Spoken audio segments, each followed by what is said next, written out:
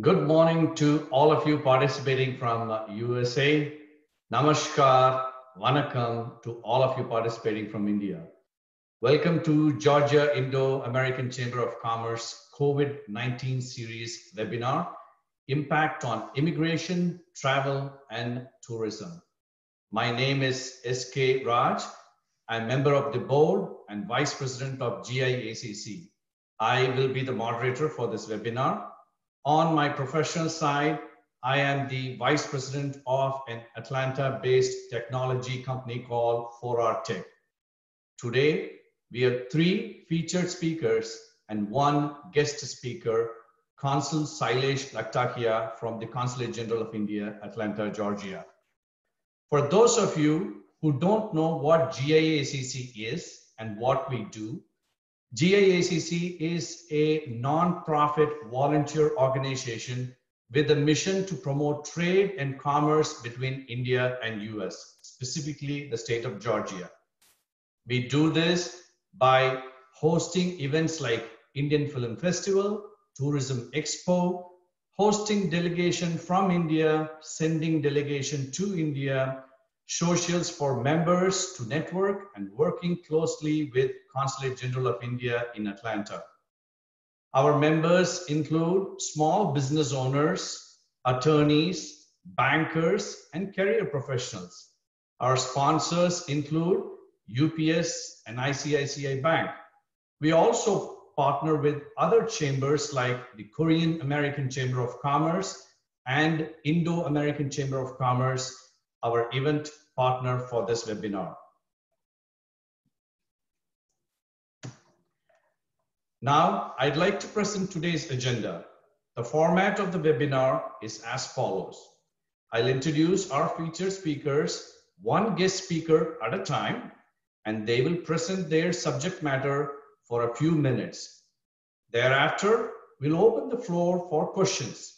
We have a large number of participants today, and there's a lot of ground to cover. Please ensure your Zoom settings are the audio remains on mute and the video is disabled.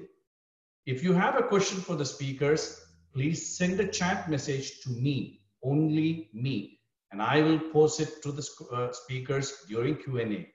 I cannot promise we'll get to all the questions, but I'll try. For your information, a recording of this webinar in its entirety will be available in our website www.giacc.net, not giacc.com, giacc.net tomorrow. Soon, you will also see their information on our next COVID-19 series webinar scheduled for June 3rd week. This webinar will address COVID-19 treatments, progress, on vaccine development and long-term impact on workplace culture in both USA and India, among other things. A pulmonary specialist doctor from Massachusetts, a scientist from CDC Atlanta are two of the featured speakers. Our first speaker today, Anita Ninan. Second.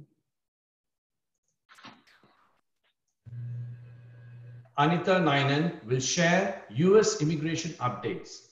Anita has been an attorney for over 10 years, practicing law both at India and state of Georgia. She is the founder and principal attorney of Ninan Legal. She helps foreign nationals on visa, green card, and US naturalization matters. Ms. Ninan is the current chairperson of GIACC and serves as honorary legal advisor to the Indian Consulate General of Atlanta. Now, Ms. Ninan.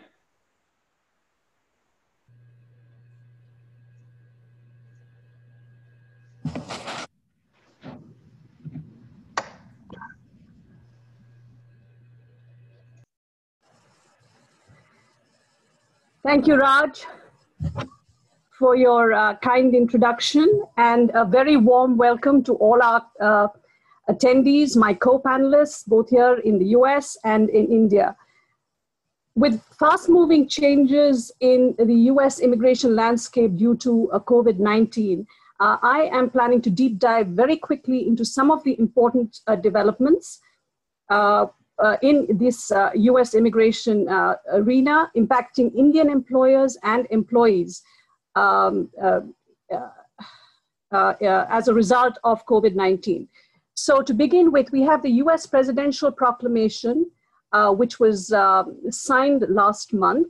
And as of April 23rd, certain types of immigrants uh, face a temporary ban to their entry into the United States for a period of 60 days. Basically, an immigrant uh, who does not have a valid immigrant visa and a valid travel document, such as an advance parole document or a boarding foil or a transportation letter, as of April 23rd, is unable to enter the US from April 23rd for a period of 60 days. There are certain classes of immigrants who are exempted, and I'm just going to uh, refer to those pertinent to our uh, discussion today. So US legal permanent residents uh, are exempted. Please note their uh, spouses and children are not. Minor children are not. US citizens, their spouses and minor children are exempted. Uh, EB5 visa immigrants are exempted. Uh, and um, professionals, Indian professionals like nurses, physicians, doctors uh, who want to come in to help with the COVID response uh, in the United States are also exempted. Coming to uh, flexibilities and accommodations shown by uh, the US Citizenship and Immigration Services regarding petitions uh, and extension of stay or change of status here in the US, we find uh, a lot of Indian nationals have been stuck here in the US because of conditions back in India, unable to travel back. US uh, uh, CIS uh, guidance regarding this has been to timely file extensions where applicable before the expiration of your I-94. As we know, for the H1 and the L1 category of work permits, uh, they have an added uh, uh, immigration benefit of being allowed to work for another 240 days while their extensions are pending with USCIS. Um, uh, USCIS has also extended uh, uh, accommodations in terms of filings. They accept currently electronically reproduced signatures on all immigration forms and documents of wetting signatures. They have also extended uh, the time period uh, by 60 days for filing of uh, responses to requests for evidence and other notices such as notices of intent to revoke or notices of intent to deny. As regards the COVID impact on H-1B workers and employers and um, uh, L1 uh, workers and employers, uh, as you all know, I'm going to first talk about the H-1B uh, uh, work program. As you uh, know, it is a strict liability compliance program, which is administered jointly by USCIS and the US Department of Labor.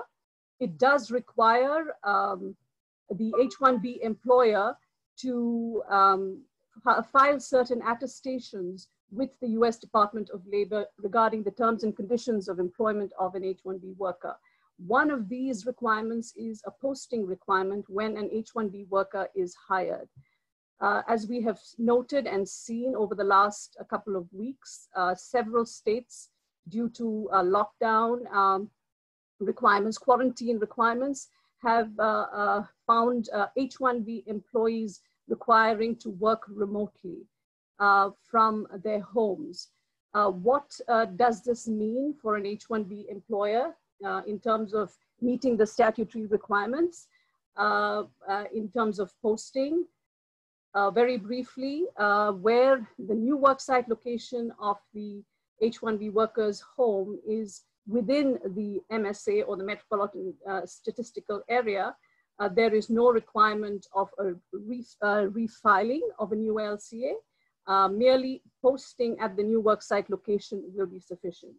Uh, however, if the uh, new worksite location is outside the MSA, the H-1B employer has the ability to use the short-term work worksite placement rule which uh, will enable uh, them uh, to continue working at their remote location, not mentioned on the LCA, for about six weeks in a calendar year. Once that time is exhausted, uh, the H-1B employer must file a new LCA and an amended petition. As regards the L1 program, there are no such posting requirements. Um, what are the implications uh, for uh, H-1B workers, uh, uh employers and L1 uh, employers um, uh, in terms of reducing wages, furloughs, and terminations of H1 and L1 workers. As we know, COVID has had a huge impact uh, economically for companies. Uh, companies are trying to conserve their cash um, and trying to stay uh, afloat during these uh, very challenging times. Uh, in terms of reducing wages uh, under the H-1B program, as you may be aware, the H-1B employer makes an attestation of paying at least the prevailing wage in the area of intended employment uh, or the employer's actual wage, whichever is higher. So there might be a little bit of wiggle room uh, as regards reducing wages of an H-1B employer during these times. Uh, however, uh, the wages should not be reduced at all below the uh, prevailing wage. As regards uh, changing from reducing work hours, changing from full-time to a part-time, would necessitate an amended petition because this is a material change in the terms and um, uh, conditions of employment. Can an H-1B worker be furloughed and placed on temporary uh, uh absence um, uh, leave? Uh, this would not be recommended because US Department of Labor would uh, view this as benching for unproductive time, which is not 100% voluntary. Uh, so uh, that would not be recommended. As regards um, termination of H-1B workers, uh, I think it would be in this current environment, uh, the best uh, situation would be either you pay the H-1B worker throughout, no furloughs. Anita, no this is Anita, this is Raj we yes. have a lot of ground to cover. I know the uh, the content that you have to share with us is very important. Can I request you to uh, continue yes. this during the Q&A session? I, I certainly will. I have two more points which I'll run through very quickly. Just on the unemployment insurance of uh, whether that is available for H-1B workers. Yeah, uh, they are not qualified to receive unemployment insurance because uh, under these programs, they should be shown to be available for work and due to their uh, uh, immigration status, they are limited from being able to claim that they are available and uh, uh for employment to qualify for unemployment insurance. And the last point, of course, is uh, are they eligible for uh, the stimulus package and the first family's first coronavirus benefits? If they are a US resident and they qualify under the substantial presence test, yes, they can um, uh, avail of these benefits uh, and not fall foul of the public charge requirements uh, under US immigration law. And thank you so much, and I hand over to Raj. Thank you, Anita. Our now, now our guest speaker, Honorable Consul Sailesh Lakhtakia. He will share with us consular updates. Consul Sailesh is the consul for political and consular matters at Indian Consulate in Atlanta, Georgia. After a brief stint at Ministry of Commerce, he joined the Indian Foreign Service in 1987. His diplomatic postings include Libya, Kyrgyzstan, Bahrain, and Mongolia. He has handled matters such as education, global cyber issues, commerce, and counterterrorism. It is with great pleasure I present now Consul Sailesh. Give me just one second.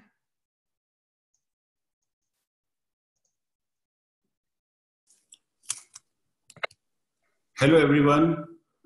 This is Shailesh Lakhtakia. I'm so honored to be a part of this webinar today with GIACC. And uh, I look forward to interacting with the uh, people who have joined this meeting and answer some of these questions uh, towards the end of the meeting. So the consulate is basically involved with consular issues, mostly with travel documents as far as the uh, general public is concerned. And uh, there are a few things I would like to mention and uh, bring to the notice of the people.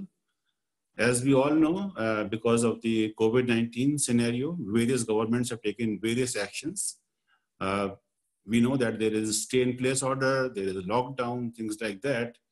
The governments do not want people to travel, as simple as that.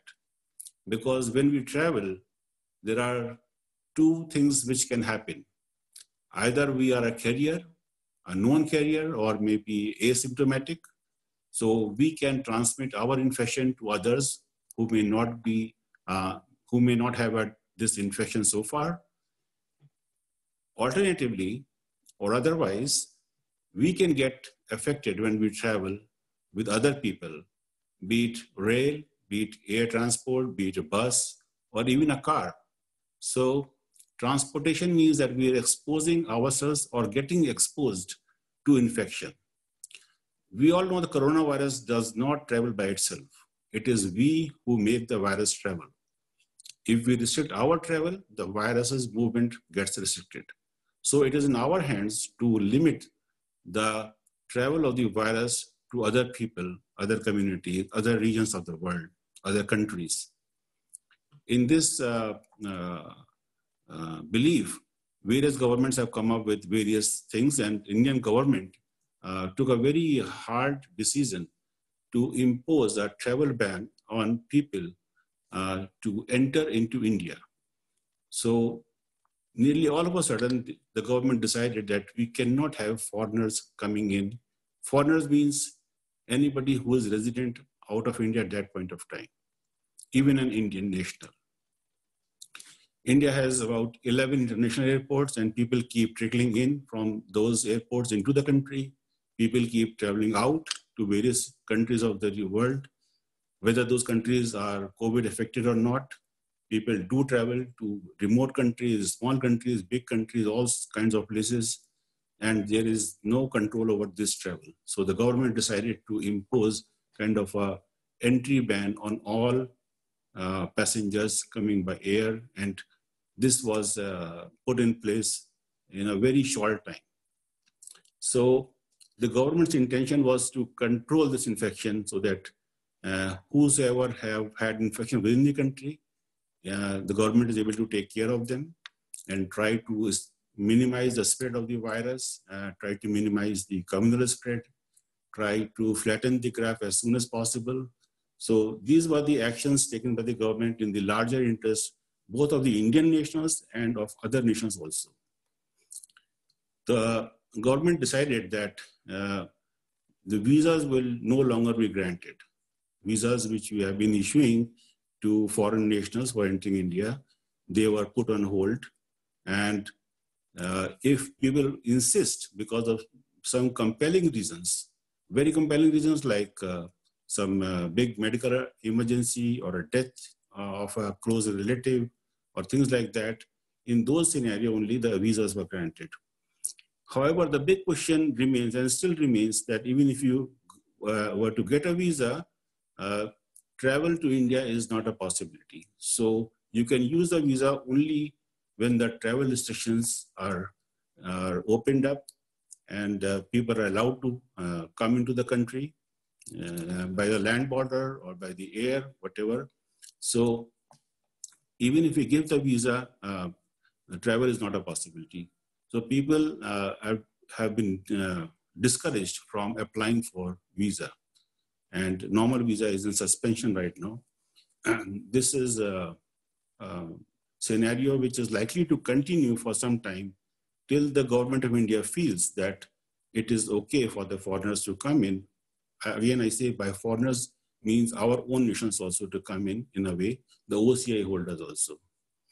So this visa restriction was placed not only for the foreigners, but also for OCI uh, card holders who had some Indian connections, either they were India born or Indian parents and things like that. So even the OCI card holders could not travel to India. And even right now, uh, there is a restriction on OCI card holders that they cannot travel to India. However, because of compelling reasons, they can apply for a visa and get a visa from us if they have a very uh, big uh, issue at hand. and we can help with that. But still, the possibility of their traveling to India will open up only when the government allows travel to India. So right now the consular is dealing with uh, people who are applying for visas and we are giving them visas only in a restricted manner. We are also dealing with uh, things like renunciation of Indian citizenship, which is a mandatory thing if you were to apply for OCI and for visa. And we are also dealing with limited number of uh, issue of passports or reissue of passports, I would say. Uh, that, that would help people either to get a visa, you know, from the USCIS if it is expiring, or it would help in their travel to India. So the consulate is right now in a very uh, in a very restrictive mode as far as functions concerned to the general public. Uh, so our consular functions are, are very limited to only for the emergent and urgent things. However, the consulate is open in general for the public to apply for various attestation of documents. That is normal. There is no walk-in, but people can send their documents by post. Recently, the CKGS in Atlanta has reopened. And I must say that, uh, again, in that facility also, there is no walk-in. Uh, people can send their documents they post to CKGS. CKGS will process it and send it back to us. Uh, and then we will process it further, whatever is required on our part. OCI Sailesh, uh, yeah. The participants have a bunch of questions and I know they all okay. want to ask okay. you so many questions. So okay. if you don't mind, I'd like to defer more content in the Q&A session. And okay. I trust me, there's just so many questions. I'm, and for the information of all the participants. Thank you. Absolutely. If you're not able to, if your questions are not answered during the Q&A, you can send a uh, email to us at yeah. giacc admin pro okay. at proapg.com and we will share that email in the webinar in one of the slides and then we will try to address it as well. Thank you okay. very much, Consul. And I, I, would like to go to the next uh, speaker. Our next featured speaker is Poorvi Chothani. She will share the Indian perspectives. Poorvi is the founder and managing partner of LawQuest, based in Mumbai and Florida. In addition to practicing law in India, she is admitted to the New York State Bar and a practicing solicitor in England and Wales. Poorvi is the vice chair of the India Committee and the Immigration and Nationality Committee of the American Bar Association. Poorvi is the past president of Indo-American Chamber of Commerce Western Region. I now present Ms. Chothani.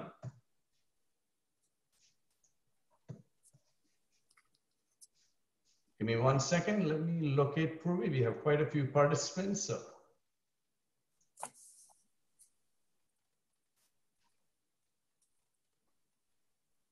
Okay, are we ready? Yes, Poorvi. Go ahead. Thank you. Thank you, Raj, for inviting me, and thank you, Anita, for inviting me to speak. And um, hello, everybody. So there's a lot happening in India. We are a huge country, and uh, the government has a really challenging job at hand. Uh, I think that they, they are doing the best they possibly can because they don't have a blueprint of what works, what will not work, and we are struggling. Mumbai is seeing exponential growth in cases, and um, is coming to our doorstep almost wherever we are, it, especially in the city of Mumbai. Anyway, but the government has been very proactive, unlike other countries where they have uh, granted a lot of relief to foreign nationals who are within India currently. Uh, for example, they have given them an ability to extend their visas uh, even with delays and uh, extend their registrations even with delays within India by granting consular powers to the FRROs, that's the Foreigners Regional Registration Offices in India. That gives them a lot of flexibility in wanting to stay on uh, within the country. Um, OCI holders who are already within India are safe. They don't have any problem. Of course, those who are outside are unable to enter at the moment. Um, the other services also at the FRRO continue. So if you are here and you have to uh, apply for a visa or anything within the country, if there's a new birth or something like that, you can still continue to get that within, in, uh, within India. Um, even if there is a delay in any of the procedures, there is no penalty being levied for now. Uh, but um, that is also for a limited period, but the government has been extending the date uh, till when they will grant it um, every time they announce a lockdown. We are in lockdown version 4 now, uh, and they have extended the lockdown till the end of May, that's um, the end of the month. And um, the states have got the power to slowly open up how they want, and I will come to that in a bit. Um, the other situation that the foreign nationals are facing in India is they want to leave the country, but there are no commercial scheduled flights. So the consulates of their various nationalities are arranging for special flights to leave, uh, to take them out of India. Also, since May 7th, the Indian government has been operating uh, special flights to bring back Indian nationals to India who are stuck in various countries. They also had flights coming in and out of the United States, and they have a few more scheduled right up to May 27th. Uh, after that, the schedule has not been fixed. Foreign nationals um, can't, I mean, they can get on these flights outbound, but they can't come into the country on those flights. Um, Indian nationals who wish to do so can register with their local consulates and they will get put on a flight. The consulate uh, approaches them with an email or a phone call and helps them get on the flight. We've had many clients come back like that. Once they arrive in India, they have to go into quarantine because of the lo lockdown and travel restrictions that the consular officer just now spoke about. Uh, so they will be put into 14 days of quarantine at designated hotels or centers. This is a service that they have to pay for themselves. Um, and then they can proceed to their uh, home destination. However, travel within the states is uh, between the states is also restricted. So people should be very careful when making plans to arrive in India because let's say they fly into Mumbai, they may not be able to um, travel to um, Uttar Pradesh or Madhya Pradesh from here. They'd have to wait. So other than that, there are restrictions in the states that are being opened up. Um, the, the entire nation has been divided into color-coded zones depending on the in, uh, intensity and the uh, rate of increase of COVID cases. Mumbai is in a containment, uh, Mumbai is in the red zone and many parts of Mumbai are in containment uh, zones.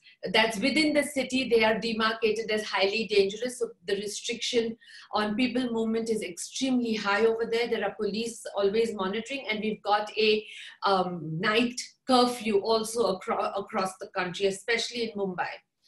Um, in the space of the employees, the government has proactively tried to protect the workforce. However, I'm not sure that's working fine. It might backfire. Uh, on March 29, they, um, the Ministry of Home Affairs issued an um, announcement that they should not cut the salary of employees nor terminate their employment during this COVID situation. However, companies have gone to the Supreme Court uh, in special leave uh, petitions to, uh, um, to ask for relief on this because their argument is that if the business does not survive, how can we pay uh, salaries? So let us cut some salaries or let us cut some jobs and let us survive.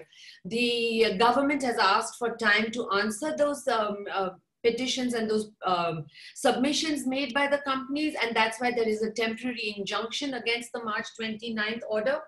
On the flip side, many IT companies who have workers on contract have terminated contracts um, and the NTIES, which is a um, trade union of uh, IT workers has brought a case to the Supreme Court challenging these mass terminations and the, that case is pending. So there is a lot of action happening at the employer-employee front. There is a tussle. Um, the other sad part of this entire thing is because we went to a, to a lockdown very quickly and suddenly, a lot of workers that are migrant workers within the country, they come in from Bihar, Uttar Pradesh to the large cities to work, they were all stranded in the city without work and really any home to speak of. Because if you're in the construction industry, you're just sleeping at the construction site. Um, they many of them walked home and they walked home for miles and miles 100 plus miles in some cases. So we've had some very tragic stories also about the workers. Uh, but i guess the government has a humongous problem. They have announced some um, relief through their 20 lakh crore um, a plan for COVID relief, which is being distributed through various avenues. I just hope and pray that it reaches these migrant workers who seem to be the most devastated. Now, getting back to safety measure, work safety measures, most of the states have still got restrictions in the sense uh, Karnataka, which has opened up quite a bit because they did a very good job in containing the growth of COVID cases. They still have prevented schools, malls, theaters from opening and uh, public and religious meetings from being conducted. So there are those restrictions, but general public is allowed to move around. Sorry yeah. to sorry to interrupt you. As you can imagine, I'm yeah. getting so many questions and we would love for you to answer them.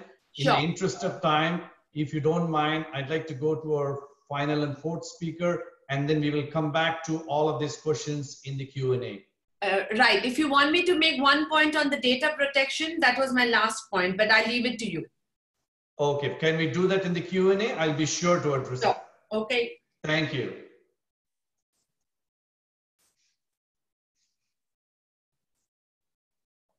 Our fourth and final speaker is Pabs Raghava.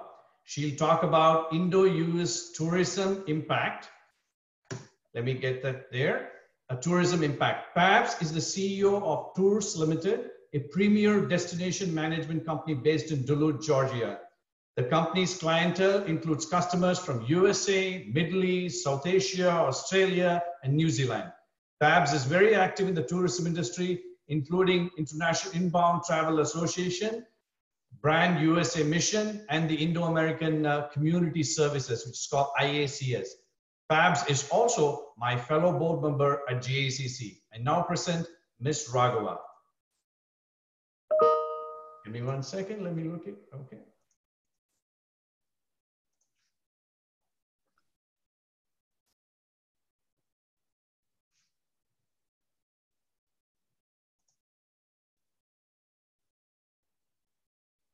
Pabs?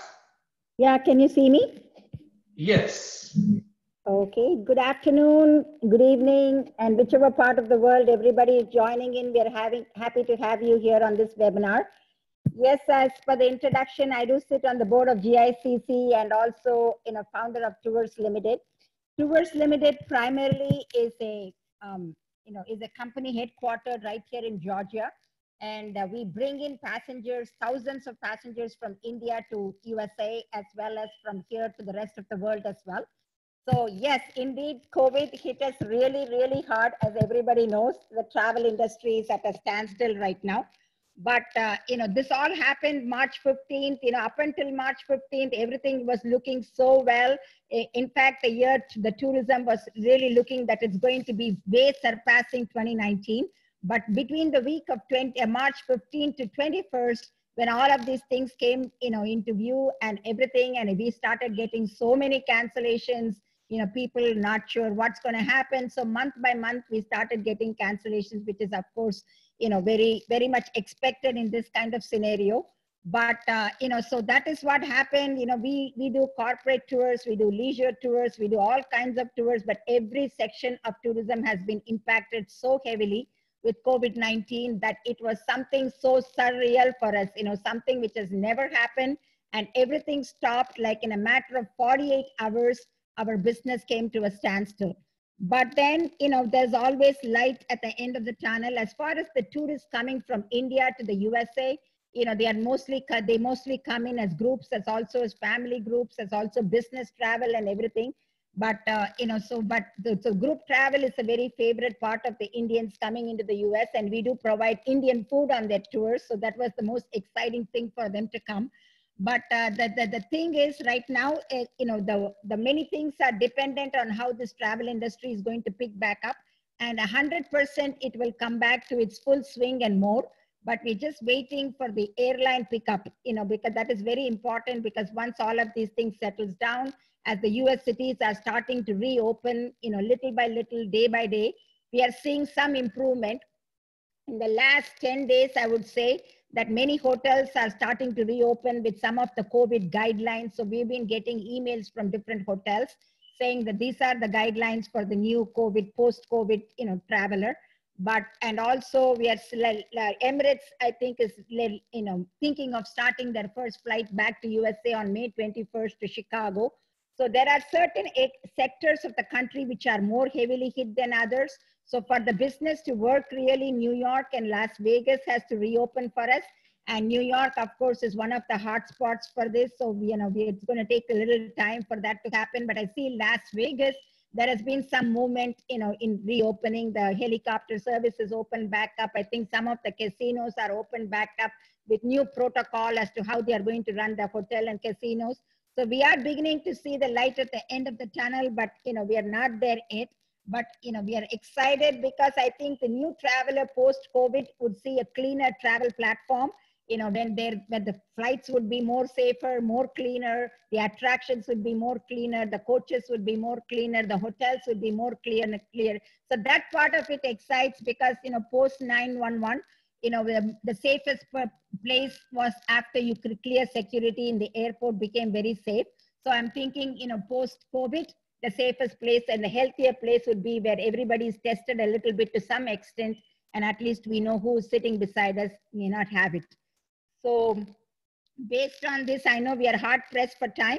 So I would take questions as they come along, but I, you know, I being positive and, you know, clear thinker, this is only a time thing. It's only a time bound thing. Once everything clears, people will start to settle. People will start to get confidence. We will be rocking again. So looking forward to a great travel year 2021. So thank you all. And I would take any questions if you may have. Thank you, Raj, for having me. Thank you so much, uh, Pabs.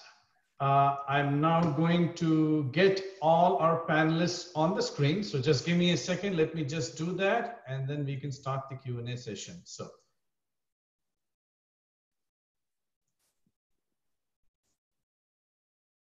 Okay, Anita, you should be on now. Let me get, uh, let me get our uh, Consul as well.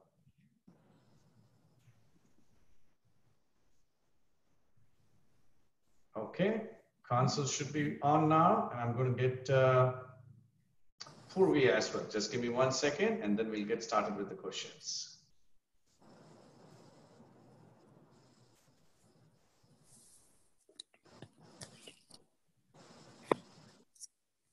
Okay, so thank you all. Uh, that was definitely very uh, illuminating. I have uh, questions, a lot of questions from our participants. So we'll try to address as many questions as we can. Uh, so my first question is for Anita. So the question is, my client has a newly approved H-1B petition, but has not yet had the consular visa appointment. Do you think additional steps will be required as per the presidential proclamation, such as testing the job market through recruitment or other means before the visa can be issued? Uh, so uh, can you hear me? Yes, go ahead, please. Yeah.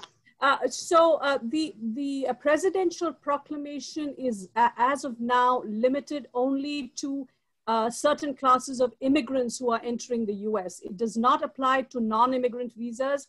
Uh, that visa, you know, those who have valid non-immigrant visas, like um, you know, either work visas or wanting to come in on a B1, B2 for travel or tourism, uh, if they do have a valid visa, they can come in and they are not uh, suspended during this 60 day period. Uh, uh as regards any changes uh, in the H-1B program uh, requiring recruitment, that would be a, a, statutory change and I don't think that would be covered under a presidential proclamation. I would also um, like to point out that the presidential proclamation does allow for uh, a review of the non-immigrant uh, programs uh, within a 30-day period. And so this week, we might be hearing something about the impact of the non-immigrant programs and the possibility of uh, any changes on those programs, including the H-1B, the OPT programs, and the H-2B programs, uh, in light of them uh, negatively uh, impacting the US economy, given the high unemployment rates here currently. Okay, thank you very much, Anita. The next question is for uh, Consul Shailesh. So the Indian government, we hear, is constantly moving the date farther to when things are allowed to return to normalcy. What exactly is the benchmark for the government to reopen the economy fully? Oh, that's a question for the economy. uh, uh, sorry, Raj, I'm quite ill prepared for that. It may best be answered by some economist or people from the Ministry of Finance or things like that. You know? So, well, what we are trying to understand, the Consul Shailesh, is that we understand that the, the Indian government is saying that, you know, like the lockdown will continue until this month end, for example, right? So we are trying to understand what is the government waiting for to say, okay, now we can start opening the economy slowly because what we hear uh, from US back home from India is that it's being so. That is the question, if that makes okay. sense. Uh, probably government is trying to play safe uh, as far as the economy is concerned so it's a very difficult choice. You know, either you play with people's lives and health or with the economy. And uh, this is a balancing act which the government has to do very cautiously, very carefully. Both ways, you have uh, disasters coming up. It could be the economic disaster, it could be the health disaster. So the government has to find a midway, you know, somewhere it can balance uh, the rebound of the economy and somewhere it takes care of the health and security of the people. Uh, as far as we see, the IMF, the UN, uh, UNCTAD, uh, they have projected positive growth for India uh, during the next year and thereafter, even after the COVID-19. So India would be like one of the few countries in the world to still have a positive growth. So that is good news for India and still keeps, you know, our, our hopes high in the economy getting opened up. But the opening of the economy is going to take place uh, in a very calibrated, slow manner. Okay, thank you very much, Consul. That certainly uh, helps. Uh, we have some more follow-up questions. I know a lot of people are asking about consular services and all of that. So I'll come back to uh, come back to you in a minute. Uh, this question is for Poorvi Chothani. So Poorvi, can an employee in India be terminated during COVID-19 lockdown? The follow-up to that is, can wages and work hours be reduced during the government imposed lockdown? So as per the March 29th circular, no, none of this is, is uh, permitted. Unfortunately, the government, the way they have worded it, they've called it an advisory. Uh, but because this advisory is under the Disaster Management Act, it has got the weight of regulation. And the, the, the announcement also said there will be penalties. So the simple answer is no, you cannot terminate or reduce uh, wages or salaries. But in practice, different things are happening. Companies are taking risks of penalties and going ahead and terminating. And I mentioned those two Supreme Court um, actions that are going on. There is, there is one where the companies are um, suing the government, and there's another one where the trade union is suing the uh, companies. Okay, thank you very much, Poorvi. Uh, this question is for uh, PABS. PABS, with raising income levels, particularly in developing countries, tourism has been growing healthily past several years. Everything has now come to a standstill. Post COVID, what do you believe will happen to this industry? Okay, in my opinion, you know, nothing stays forever. Everything in, you know, everything in life comes and goes. So this is one of the phases we are going through. And, uh, you know, once they, we have some definite vaccines in place, and also the airlines have their own protocol for safe travel, and every city is monitoring their attractions and hotels for some time till we get, you know, hold of this infection going on. And testing becomes quick and cheaper and I think that would put a lot of things into perspective on the industry getting reopened. Travel is not something people are going to give up for anything. So it is only a phase we are going through and let's wait patiently through this. You know, it, we will get through this And once we get through this and everything looks, people will forget everything and start to, you know, travel back again. So I have no doubt about that. But 2020, in my opinion, is, is gone. So I've taken it out of my calendar as far as, you know, any growth happening. But I'm already seeing signs for 2021. People have started sending us some inquiries and people are excited to travel back up. And every person I meet has this answer. I cannot wait to get onto a plane to go somewhere. So the interest is alive, it's kicking. We just have to wait patiently for a few more months and I think we'll be back to track. Thank you, Pabs. Uh, we love the optimism you're sharing, and we hope things will return to normalcy sooner than later. All of us could use it. I am sure you know everybody will agree with me that it is not just not the tourism industry or the market that's affected. Every one of us is sharing the pain. So hopefully, for all our sakes, things will come back to normalcy sooner than later. My next question is for Anita. Anita, can immediate relatives of a US citizen enter the US with an immigrant visa after April 2020. You're already in April 2020, so it's after May. Let's say after May or June.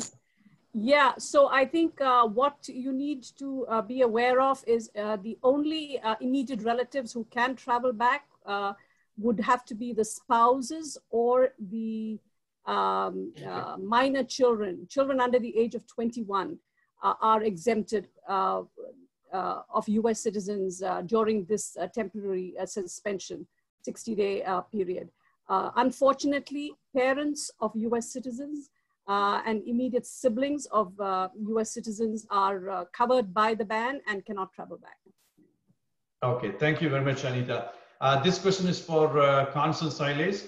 Consul Shailesh, will OCI, POI, and visa holders traveling to India be quarantined on arrival, meaning until what time has, has the government already put in place a, a plan to quarantine all travelers uh, as soon as they arrive in India? And what is the plan for that? Well, as of now, OCI cardholders, PIO cardholders, and visa uh, holders are not allowed to travel. Uh, as on date, only Indian nationals are traveling to India and uh, through the evacuation flights. And they are being put in quarantine facilities for 14 days compulsorily at their cost.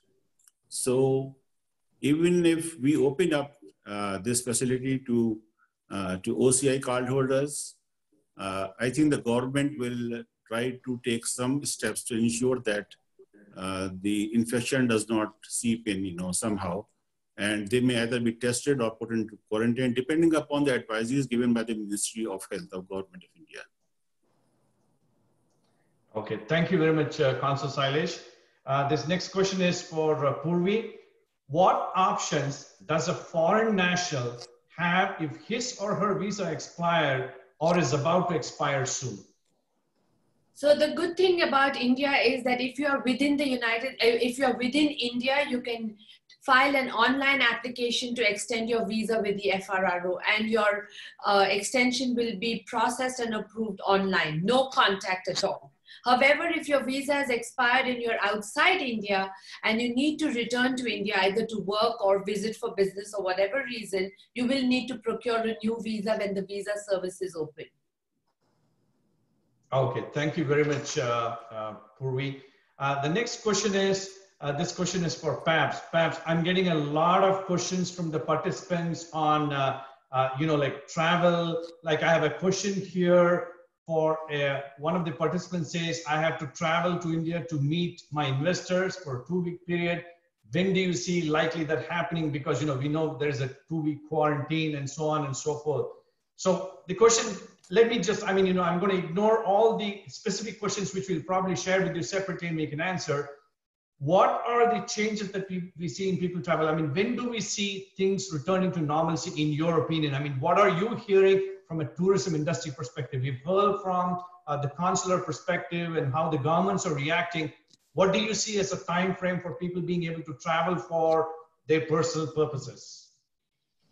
Yeah, I think it in a way it's going to take a few months for some kind of normalcy to reappear again right now, you know, I see there is a small, you know, small light, you know, in as far as some of the airlines have introduced a few dates in June where they will be operating some flights to some countries. I got one such from, I believe, Air India and also one from Emirates. So we are seeing some things happening, you know, British Airways here and there maybe, but, you know, nobody has given um, like a schedule, schedule it, you know, but, but, but I do see some, as I said, May 21st, Emirates is planning flights, you know, to a few countries, which also includes Chicago. But uh, we have to wait and see for the airline to pick up and the countries to allow free flow of travel between the countries. These two are very important in my opinion, because without that, people cannot come to a you know, destination to do anything.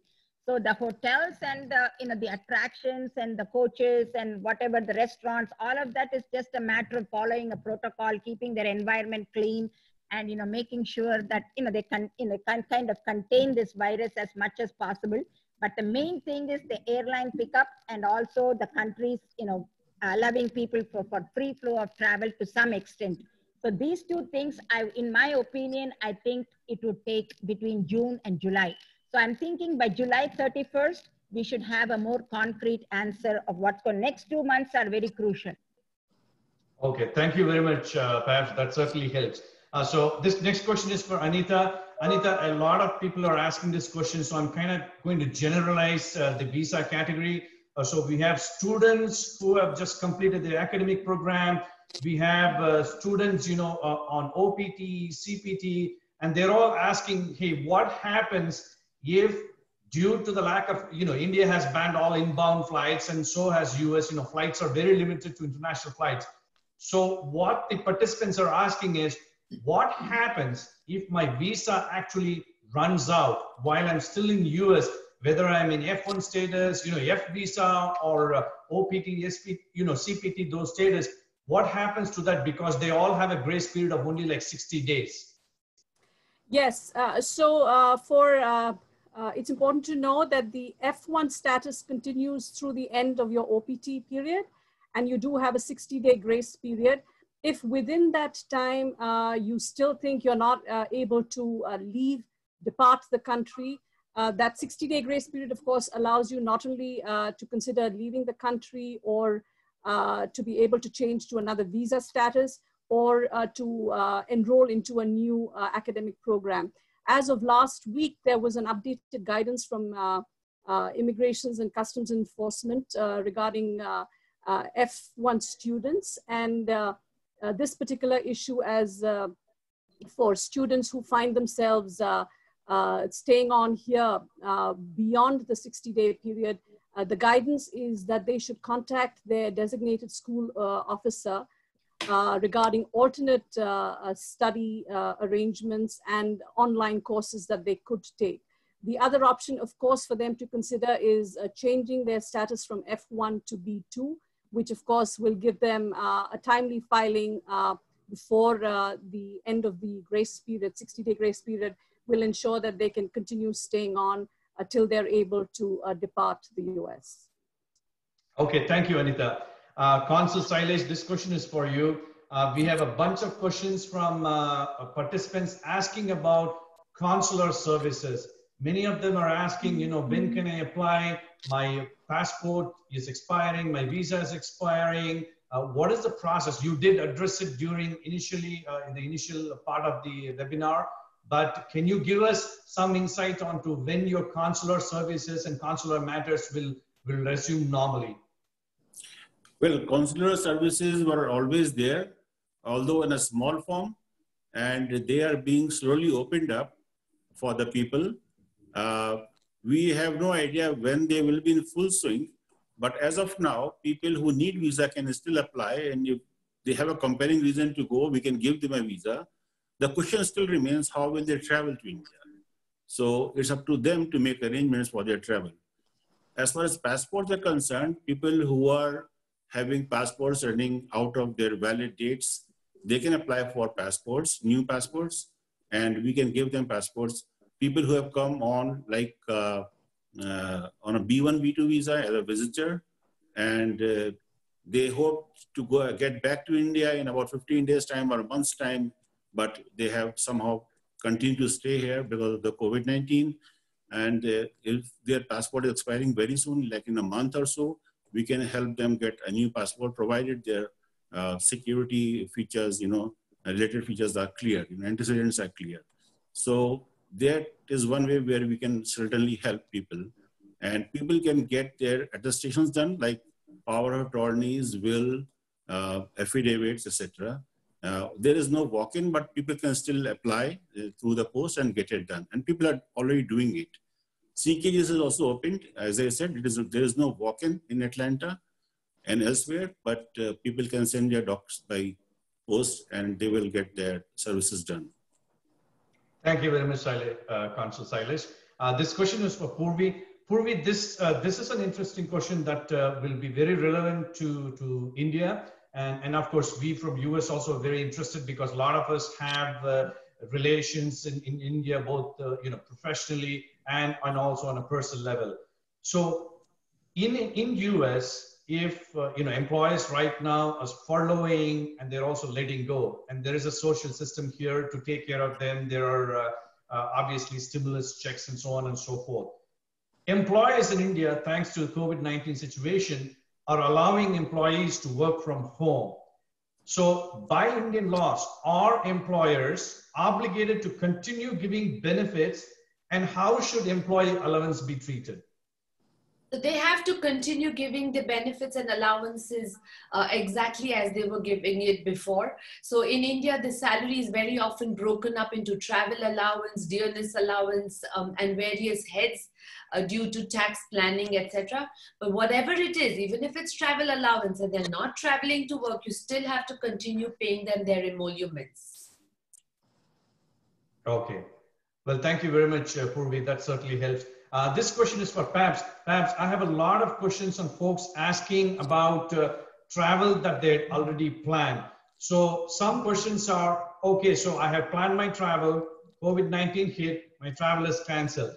My airline is giving me a credit voucher and they're kind of forcing it on me. What are my options? Can they impose the same one year credit, you know, the, the voucher limit? Can I get a full refund? So what are the questions? What do you see in your industry in terms of airlines uh, you know, either giving refunds or honoring vouchers? And, and what changes do you see because of the COVID-19 situation? Yeah, good question. You know, the airlines have been very, very accommodative throughout this whole thing. Yes, there has been a challenge in trying to reach them, even for us, you know, because I can understand the amount of volume of calls and everything. Everybody has to be little patient and understanding that the whole world came to a standstill in a matter of 48 hours. So that is going to take some time on them, but on their part, they have been telling people that go to our website and, you know, for instance, Delta and, you know, different airlines have been sending emails, you know, whatever our vouchers are good for this, good for that. They have been extremely accommodative. I don't think there is a cause to worry on that, you know, as of now. And yeah, they are giving vouchers and I think few of them have given a refund here and there, but most of them have been gone the voucher route. And so I think if you hold on to your voucher and the future plans change and as it changes and the, as the economy opens back up, as if the travel becomes a little more easier in, in terms of all the lockdowns and everything that we have, I think you'll be good to go. So to just hang in there, let everything open up, you know, as far as countries opening up borders, as far as airlines, you know, getting onto their pickup, you know, and, and the flights resuming itself and so on and so forth. I think the money will not go anywhere because most airlines have done a very good job of giving the voucher and making sure to make the passenger understand that, hey, you know, we are not running away. It's only a matter of time you will travel again. So I think on that accord, I don't think right now it's a worrying situation. Well, thank you very much, uh, uh, Pabs. Uh, I thank all the panelists. I would like to request uh, Naushad Panjwani. Give me one second. Oops. Uh, Naushad Panjwani, uh, the regional president of IACC, to propose a word of thanks. Yes, Raj. Uh, thank you, Raj, for giving me this opportunity. Uh, I'm very happy that our two chambers collaborated, and uh, it was a pleasure listening to these four distinguished speakers. Uh, Consul Shailesh uh, gave his perspective, and uh, that comes with a lot of authority, and we get the official view. Uh, Miss Anita, Miss Poorvi, and Miss Pabs give a wonderful disposition from their personal experiences, and the way they handled the questions was amazing. Uh, Georgia and India uh, are, are very well connected, as we all know.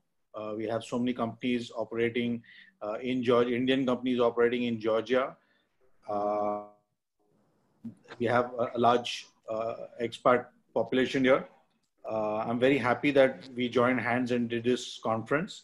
lastly, I'd like to thank Raj. you conducted this webinar so beautifully, so professionally. Uh, that we were able to answer so many questions, get, get the views from all the participants, and uh, we managed to keep time. Thank you so much. Thank you all the participants. Uh, it was a pleasure uh, being part of this webinar.